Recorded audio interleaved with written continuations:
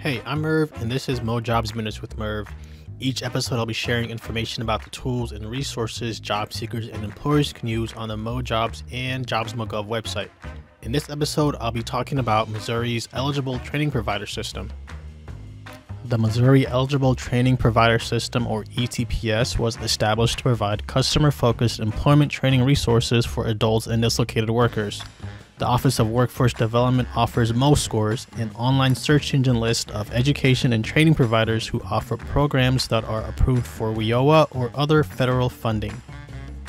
If you are a institution of higher education that provides a program that leads to a recognized post-secondary credential, offers an industry recognized or registered apprenticeship program, provides training that may include community-based organizations and joint labor management organizations, or eligible providers of adult education and literacy activities under WIOA Title II, then you may qualify to be part of ETPS.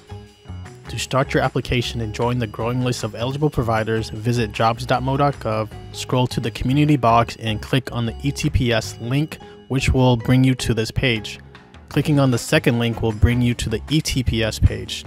To request an account, click on the highlighted ETP link or the link in the resources for ETPS providers box.